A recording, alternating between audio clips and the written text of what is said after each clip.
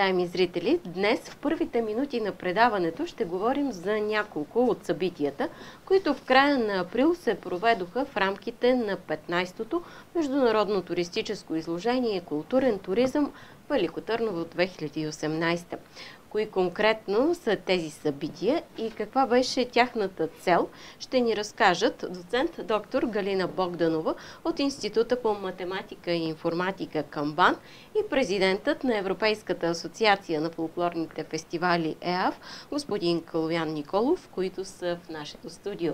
Казвам ви добре дошли. Как сте? Благодаря, добре заварили. Да започнем с а, въпросите. Нека най-напред да уточним събитията, чието организатори сте вие.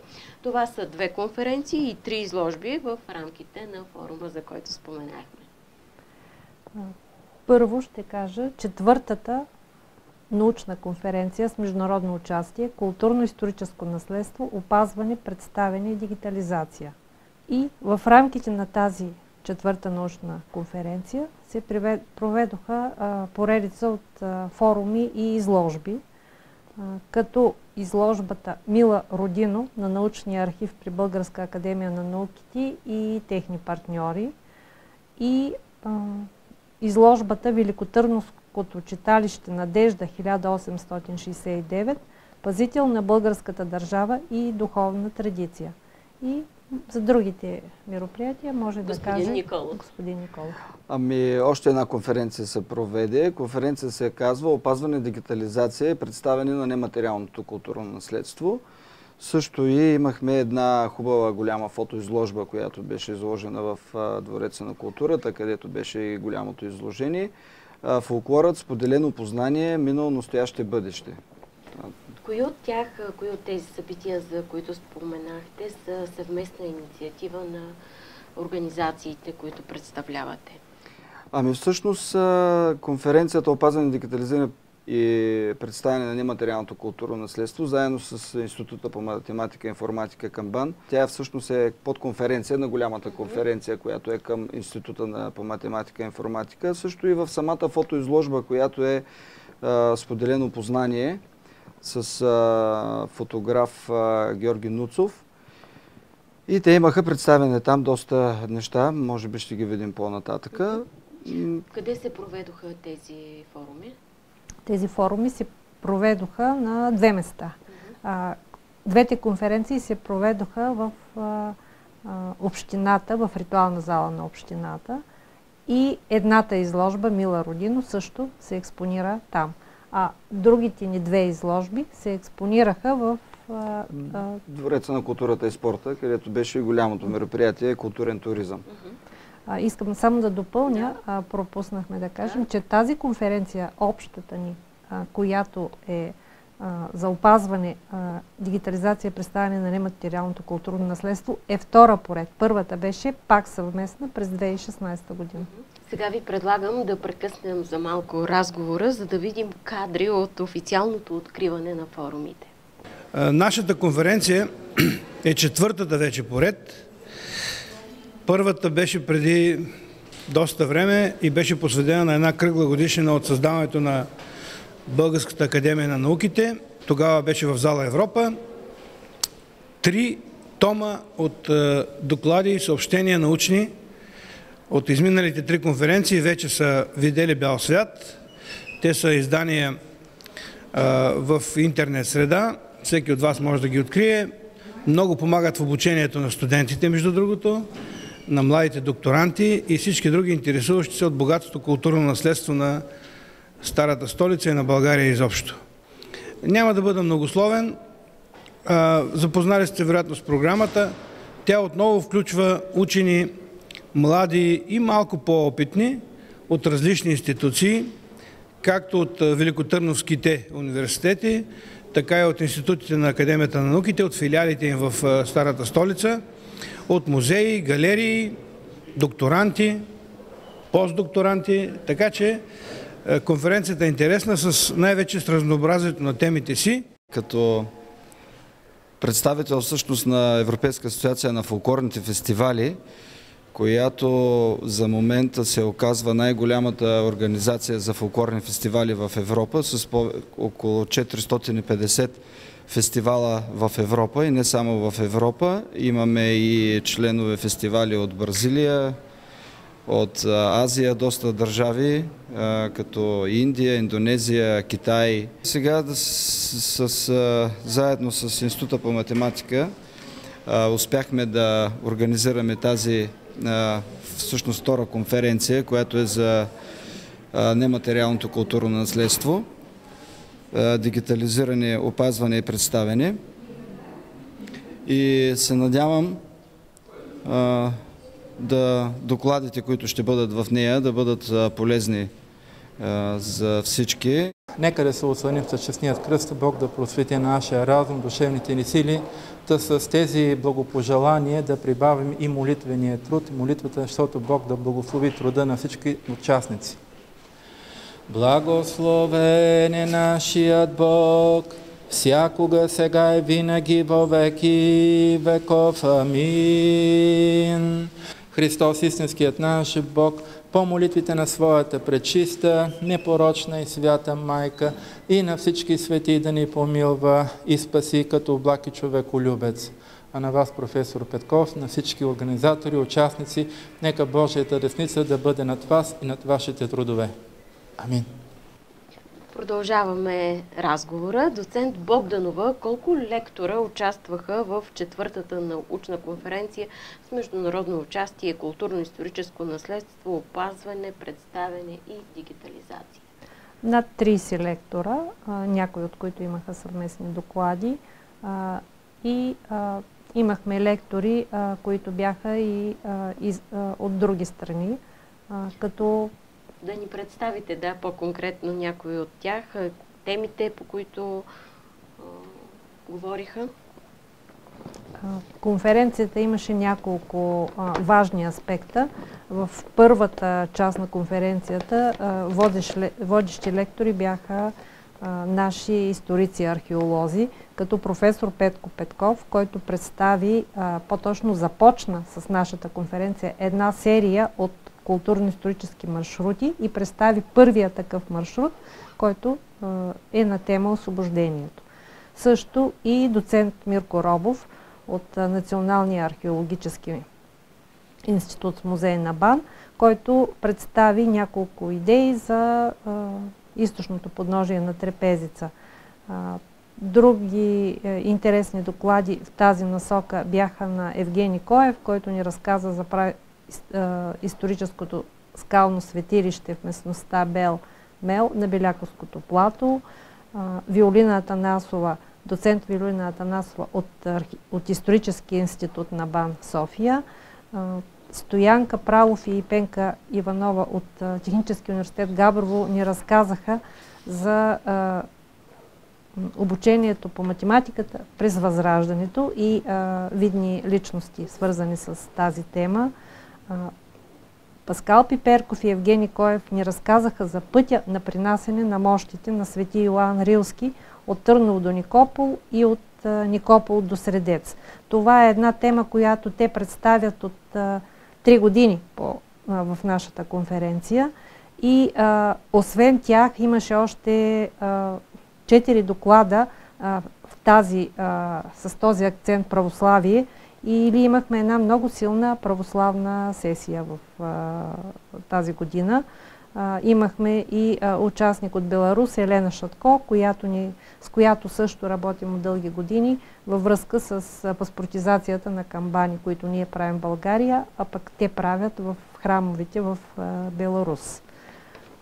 Освен това имахме и кръгла маса, осигуряване на достъпност на националните туристически обекти за хора с специални потребности и а, един от лекторите а, беше наш докторант, който самия е незрящ и той ни разказа как а, хората с специални потребности а, достигат и ползват нашето културно-историческо наследство и той дискутира темата за дигиталната и физическа достъпност а, на тези обекти за хората с специални потребности.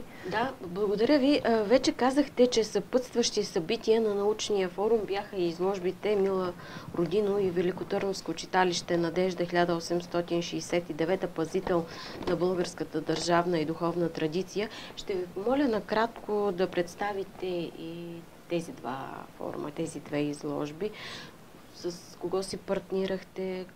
А, при изложбата а, Мила Родино ние си партнираме от няколко години с научния архив а, при Българска академия на науките и те вече имат традиция, те всяка година да представят една или две изложби от своя фонд на нашата конференция.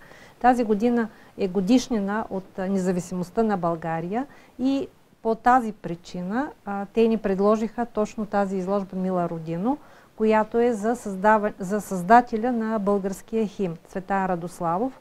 И освен това, цвета, рождената дата на Цветан Радославов е а, 20 април, а, точно преди 155 години. Тоест имахме един вид а, символична годишнина на този наш велик просветител и дец, който се оказа с много интересна съдба. Другата ни изложба, която е за Великотърновското читалище Надежда, което има другата година годишнина. И по този повод тяхната изложба, която е две части, беше представена и тя се върна точно един ден преди конференцията ни от парламента, където е била представена. И с, за нея ние си партнираме също от години с архитект Донка Колева. В редица теми и направления с, нея работим заедно. И а, това а, направление е ново, защото тя от а, мисля, че от две години е председател на Великотърновското читалище и а, това е един нов акцент в нашата съвместна дейност. Тя представи а, Великите народни събрания и тук има един много интересен факт, че четири от тях са проведени а, точно тук, в Търново и в това читалище и затова се струва да го знаем.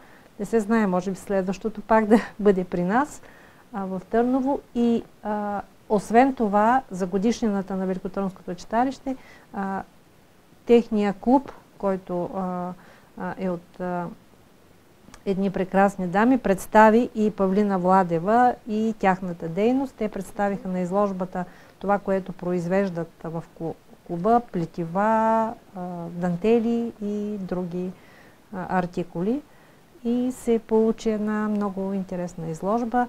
Мога да ви кажа, че и двете ни изложби вече са поканени и на други места и скоро ще отпътуват за Казанлък в Музея на розата, където също поискаха да бъдат експонирани. Чудесно. Опазване, дигитализация и представяне на нематериалното културно наследство. Господин Николов, вас ще помоля да представите този форум. Защо заглавихте конференцията точно така?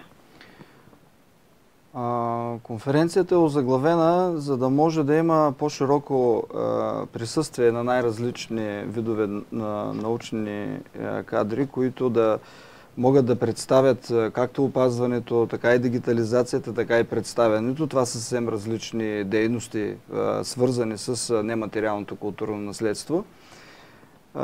Имахме изключително така голям интерес имаше от, и от публиката, и от самите докладчици, които бяха. Представихме, имахме хора от Димитрий Ритов от Санкт-Петербургския институт за култура от Русия, Вячеслав Калцей от Института по култура в Минск, Беларус, също Ваня Матеева от Българска академия на науките, Георги Василев, професор Славка Петкова от Великотърновския университет, Донка Колева и Павлина Владева от читалище Надежда. Много голям интерес за мен поне беше доклада на професор Димитър Ритов от Санкт-Петербург. С новите технологии ние успяхме да се свържем с него в Санкт-Петербург.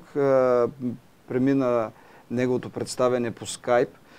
И бяхме го, хванахме го в едно задръстване в, в Санкт-Петербург, така че доклада беше изнесен от колата и както той сподели във Фейсбук, последният си доклад направих в колата, следващия път не знам вече откъде.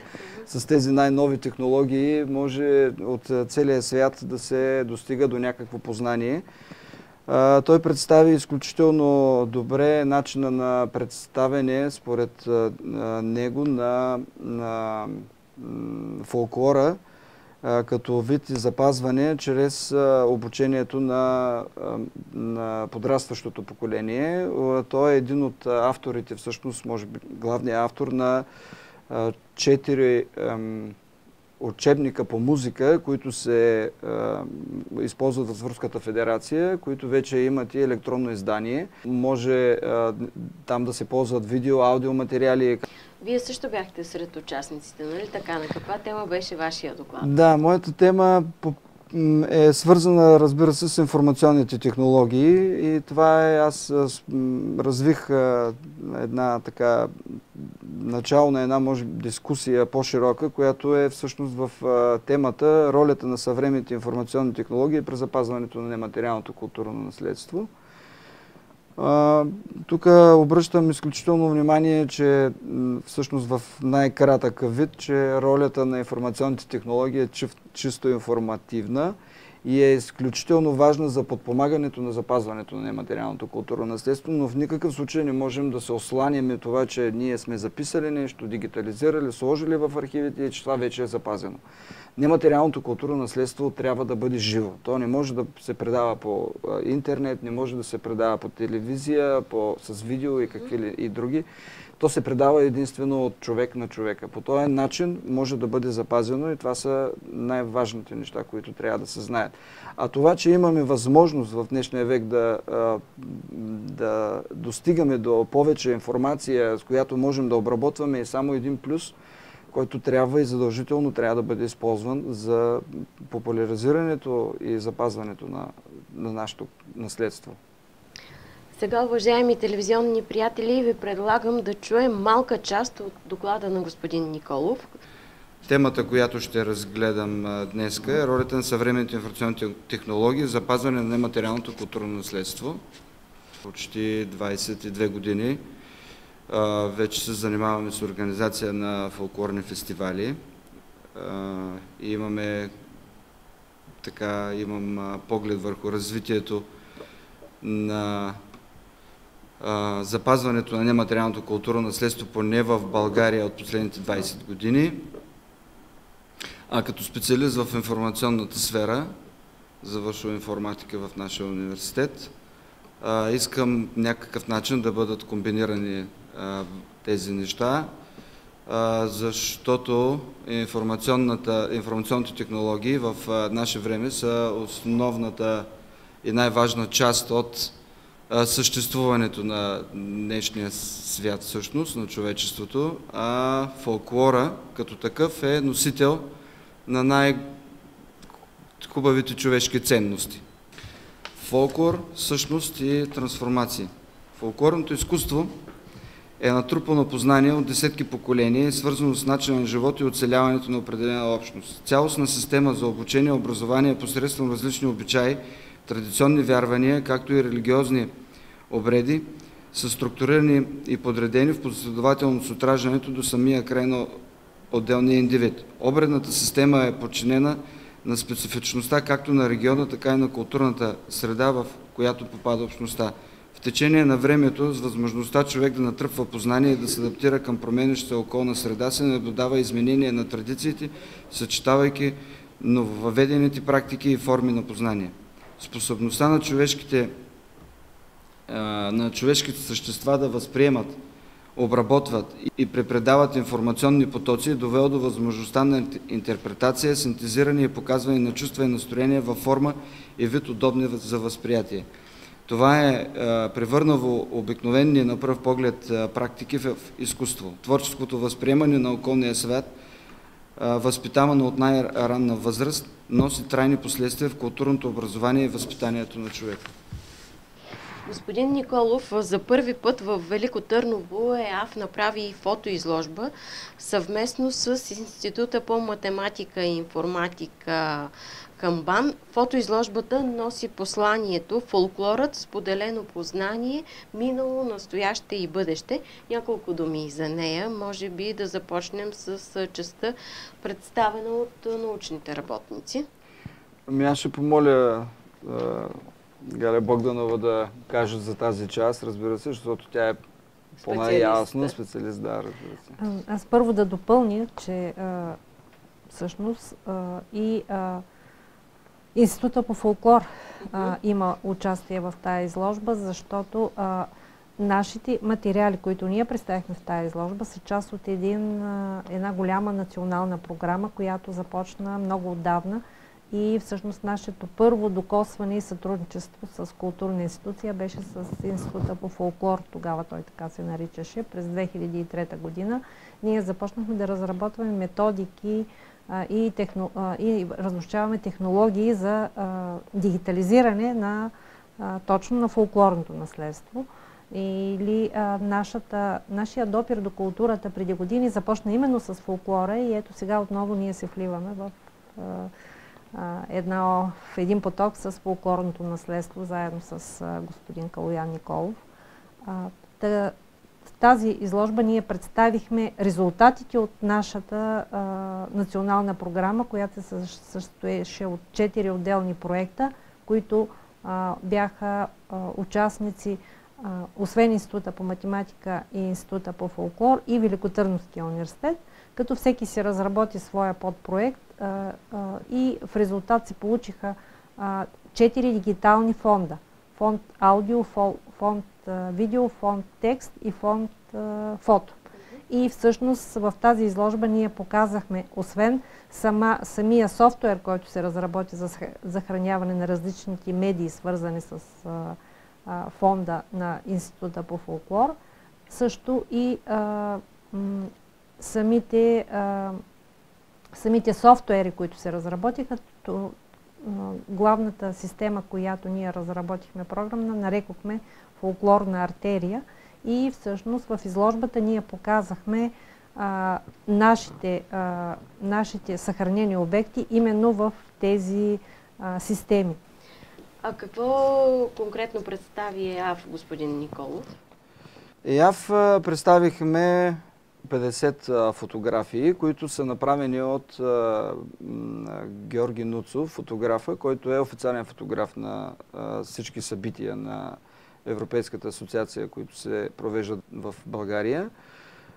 Това са най-различни снимки от различните форуми от 3-4 години насам. Имаше представени най-различни танцори, музиканти, лица на млади така, деца и на млади хора. Русия, Харватска, Молдова, Латвия, Полша, Грузия, Индонезия, Монголия, Иран, Южна Корея и, и други. По принцип, различните фестивали и различните шампионати, които са под егидата на Европейската асоциация на фолклорните фестивали, участват доста различни държави и фотографа успява да, да намери тази красота на фолклора, който може да бъде представен, да запечатан така с тези снимки. Аз, доколкото знам, от няколко хиляди снимки бяха избирани тези всички 50 тези 50. Първо бяха около 250, после на, на, на 150 и накрая да станат 50. Просто а, много трудно бяха избрани, защото изключително голям а, фонд и много материал и хубави кадри, но аз мисля, че са представени на едно много хубаво ниво. На мен изключително ми хареса цялата изложба, която представихме. И искам в аванс да ви кажа, че в началото на юни изложбата ще бъде представена в централата на ЮНЕСКО в Париж. Там ще предстои около 3 дена и след това ще започне своя собствен път, може би по най-различни други музеи. Това за нас е едно изключително постижение, защото ще може да, да поставим фокуса на повече хора в запазването на фолклора, както много хубаво заглавие минало, настояще, бъдеще. Ние сме хората от настоящето, което трябва от миналото да принесем в бъдещето. Отново ще прекъснем разговора тук в студиото, за да видим и чуем и интервю с Георги Новцов, официалния фотограф на асоциацията. В тази изложба разказвам за нациите, които са участвали в фестивалите на Европейската асоциация. Всяка нация има по една, две или три снимки. Снимките са от световния шампионат по фолклор, от европейския шампионат по фолклор, от Балкан фолк фестивалът, който се организира тук в Търново. Като съм акцентирал повече на младите хора, като носители на фолклора и хора, които ще предадат този фолклор в бъдеще и ще го съхранят. И всъщност исках да покажа колко много млади хора продължават да се занимават с фолклор, продължават да съхраняват по някакъв начин традициите за бъдещите поколения. А има от Монголия, от Индонезия, от Малайзия, от Иран, Сърбия, Харватска, просто много, много нации. Чухме господин Нуцов да ни кажете какъв беше интереса към изложбата. Ами аз мисля, че беше голям интерес по време на това културно събитие голямо, което се проведе в Велико Търново. Няколко хиляди човека минаха през изложбените зали. Нека в края на нашия разговор да обобщим наука и практика. Как се съвместяват и колко е важно това? А, мисля, че а, с, този, а, с тези форуми ние доказахме, че те наистина се съвместяват и а, за доказателство ще, а, цити, а, ще а, дам именно тази изложба, която а, а, той беше а, доста скромен, а, господин Калян Николов, като а, каза, че това са само снимки. Не, това е начало на дигитализация на фестивалното наследство и едно бъдещо наше сътрудничество, а, не само с нас, с Института по математика и информатика, и с Института по а, етнология и фолклор, а, а, защото темата на а, доцент Ваня Матеева а, на този форум беше а, именно създаване и експониране на празници и събори. И а, Института по фолклор също има голям интерес да продължи в тая насока, както и ние. И аз мисля, че трите институции биха се сътрудничили и за напред, за да може тази дигитализация, която Европейската асоциация са започнали с тези прекрасни снимки, да стъпи и на съвсем научна основа и да се превърне в едно развитие и на нашата работа предишна, нашата национална програма за дигитализация на фолклорното наследство, да се превърне в една, а, сега тя е българска артерия за фолклорното наследство. А ние се надявам заедно, трите институции, да направим международна такава артерия и да развием а, нещата напред. Господин Николов, имате ли да допълните нещо? Ми, само адмирирам. Благодаря за оказаното доверие. Аз мисля, че в тази насока ще, наистина ще се сътрудничим. Както знаете, развитието на човечеството винаги е било и започвало от основния и обикновения начин на живот. След това минава обучение и най-накрая, за да има обучение, разбира се, има наука. Има изключително умни хора, които трябва да покажат на другите по какъв начин, как и трябва да се работи всичките най-нови иновативни технологии и всичко, което е възможно, всичко минава през науката, така че е, запазването на нематериалното културно наследство, на фолклора на всяка една от нациите, задължително трябва да минава с, е, то не да минава, да е с огромната помощ на, на научния потенциал във всяка една от държавите. Аз мисля, че е, ние като е, нация, България, можем да даваме пример в това в тази насока на раз, различни други държави.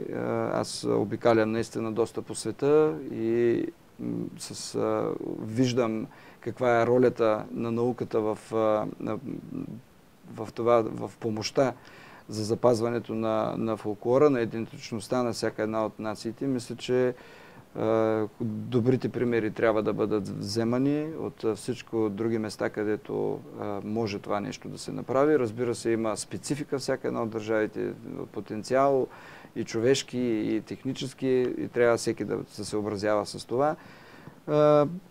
Изключително се радвам, че успяхме да намерим общ език и начин по който да можем да осъществяваме всичко това нещо, защото то е в помощ на следващото поколение. Благодаря ви, доцент Богданова, господин Николов. Желая ви успех в работата, в инициативите, които имате. Ние, уважаеми зрители, продължаваме с фолклорно изпълнение от сцената на Балканския шампионат по фолклор Еврофолк Жива вода. Представям ви ансамбъл за изворен фолклор Капанска китка, сред чието участници са най-малката участничка в историята на музикални празници Еврофолк. Това е 8-месечната Симона Цакова. Снимката с нея и майка и Красимира Кавръкова беше сред акцентите в фотоизложбата Фолклорът, споделено познание, минало, настояще и бъдеще. Да видим сега как се веселят капанци.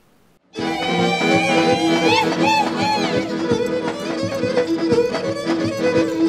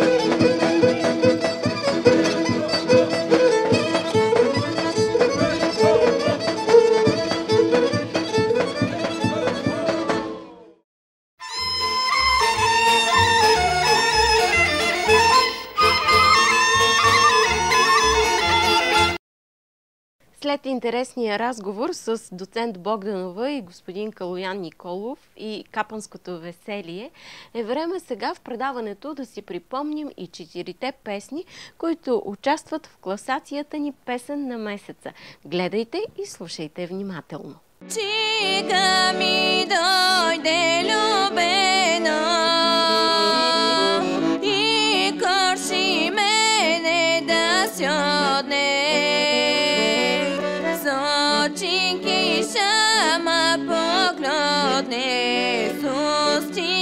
deixa me produzir.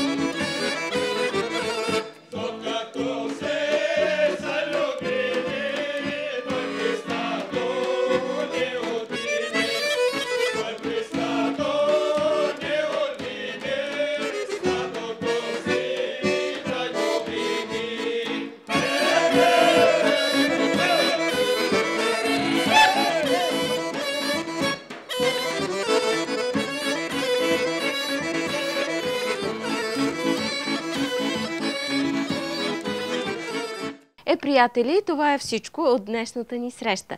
Знаете, сега е ваш ред да гласувате за любимата си песен. Три са вариантите да го направите.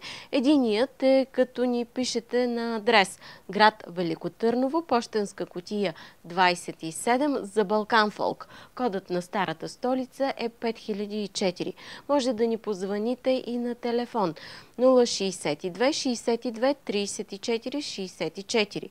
Третият вариант за връзка с нашето предаване е в интернет на адрес balkanfolk.eurofолк.com Сега е време да си кажем довиждане. Аз ви очаквам пред малкия екран следващата седмица по същото време. До тогава слънце и усмивки от мен Весела Кънчева и целия екип.